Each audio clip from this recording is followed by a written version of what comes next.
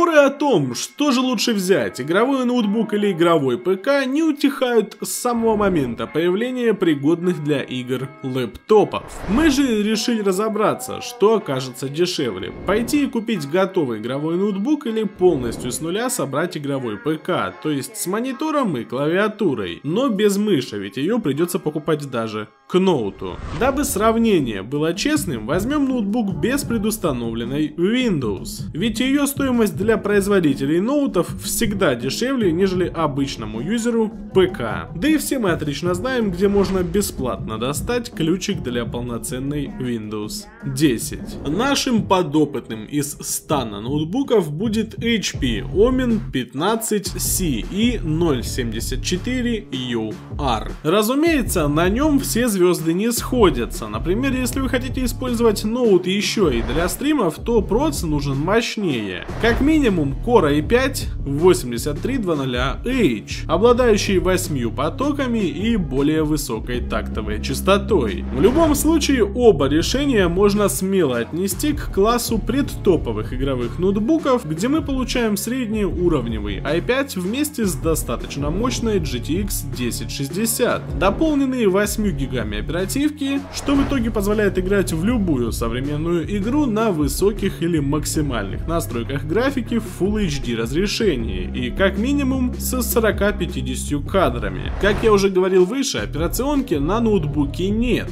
И помимо прочего, ради экономии установлен только жесткий диск на 1 терабайт. Почему так, вы можете узнать, посмотрев наши предыдущие ролики по теме ноутбуков. Например, прямо сейчас в правом верхнем углу экрана экрана всплывет подсказка на видос про 8 главных ошибок при выборе игрового ноутбука. Так что если вы из этого лагеря и вам интересна данная тема, то обязательно открывайте подсказку и смотрите видос. А что же касательно нашей сборки ПК, то еще одно важное уточнение. Мы не будем добавлять колонки по одной простой причине. Качество звука в динамиках ноутбуков редко бывает высоким, а для игр все равно все используют используют наушники, которые так или иначе нужно докупать. Но при желании можете самостоятельно добавить любые колонки за 500-700 рублей, которые по качеству скорее всего даже окажутся лучше, чем в ноуте. Что ж, давайте посмотрим, сколько будут стоить схожие по производительности десктопные комплектующие, аналогичные по мощности первому ноутбуку HP Omen 15. В его основе лежит четырехъядерный Core i5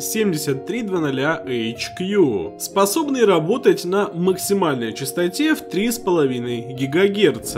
Среди десктопных аналогов ближе всего к нему Core i5 6420, но найти его уже не так уж и просто, да и брать двухлетнее решение как-то не очень логично. Поэтому остановимся мы на современном Core i3 8120, который также является четырехъядерным и имеет частоту в 3,6 ГГц, так как процессор не горячий, и чтобы не мучиться с выбором кулера, стоит взять изначально бокс-версию. Что касается материнской платы, то мы же понимаем, процессор не разгонный, так что Z-чипсет не нужен. Плюс в ноутбуке есть слот M2 NVMe, которого лишены многие платы на H310 чипсете, так что придется брать более дорогой B360. Также не стоит забывать, что в ноутбуке есть Wi-Fi, поэтому желательно желательно иметь встроенный в плату адаптер, или же потом докупить. Самое дешевое решение со всеми вышеперечисленными условиями оказалось от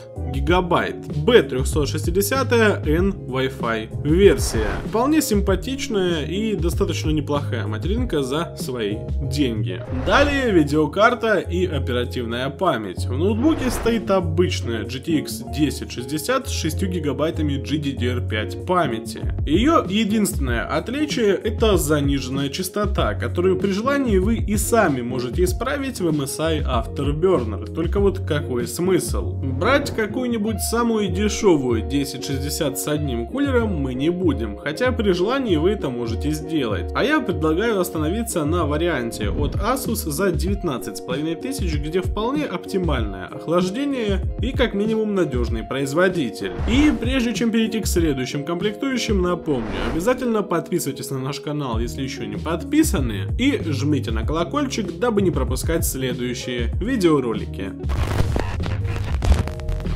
Касательно оперативки, в ноуте используется 8 гигов на частоте в 2400 МГц и возможности разгона не имеется, так что не будем долго думать. И возьмем две неплохие планки от Crucial по 4 гигабайта на той же частоте, у которых за совсем небольшую стоимость имеются даже радиаторы. Что же касательно накопителя, в ноутбуке используется максимально обычный жесткий диск на 1 терабайт, поэтому в ПК ставим точно такой же, можно даже самый дешевый. Разумеется, многие захотят поставить еще и SSD. Разумеется, такая возможность есть как и в нашей материнке, так и в ноутбуке. А вот касательно питания для нашей системы, под нагрузкой она едва ли будет потреблять более 300 Вт. Но дабы был запас, лучше остановиться на каком-нибудь 500 ваттном блоке, например от фирмы Be Quiet. И сами понимаете, экономить на БПшке это самое последнее дело. И именно поэтому столько денег тратится на него.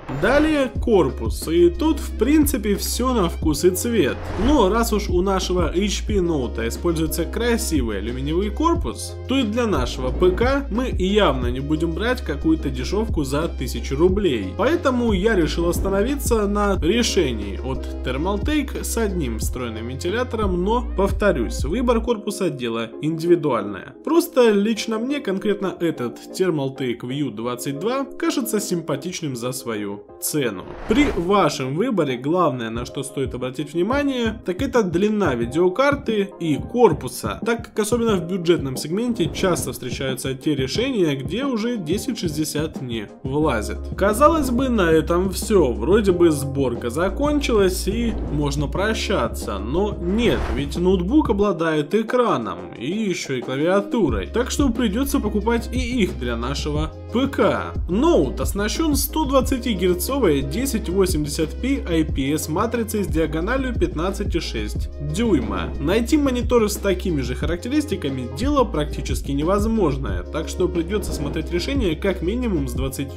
дюймами. Самое дешевое из подходящего это монитор от Acer стоимостью около 15 тысяч рублей на целых 24 дюйма и с MVA матрицей, у которой ниже яркость и чуть хуже цвета, нежели у IPS. Зато лучшая цветовая устойчивость при разных углах наклона, что для игр важнее. А если вы хотите сэкономить, то можно взять и более простой монитор с 60 герцовой матрицей за 7000 рублей. У него и диагональ меньше, и матрица IPS. Но, повторюсь, мы пытаемся собрать полный аналог ноутбука, так что в сборку попадает все же решение от Acer. Клавиатура в ноутбуке HP также достаточно качественная, с красной подсветкой и в целом надежной конструкцией. Разумеется, точно такую же мы не найдем, так что придется искать аналог, как, например, Afotech Bloody B188, которая достаточно хорошее геймерское решение за свои деньги, она имеет двойную защиту от воды, настраиваемую подсветку и основные клавиши для игр используются механические, а уже запасные идут как мембранные. Да, сочетание странное, и я понимаю, многим не нравится а Footage, поэтому если хотите, то можете взять сугубо механику 1000 за 5 рублей. А вот в рамках конкретно нашей сборки бюджет ограничен, поэтому даже данная Блади немного избыточна. Ну что ж, теперь давайте подсчитаем, сколько в сумме будет стоить весь ПК. Наверное, для кого-то это кажется сюрпризом, но полная сборка вместе с монитором и клавиатурой вышла чуть дороже, чем стоит готовый ноут. Конечно, многие скажут, что сборку можно удешевить, и будут правы. Но ведь мы пытаемся собрать максимально близкий аналог ноутбука, и экономия тут не к месту. Тем более, что есть и более дешевые ноуты, и так можно сравнивать бесконечно. Так что если вдруг вам нужно готовое игровое решение здесь и сейчас, получается, что ноут будет и удобнее, и дешевле.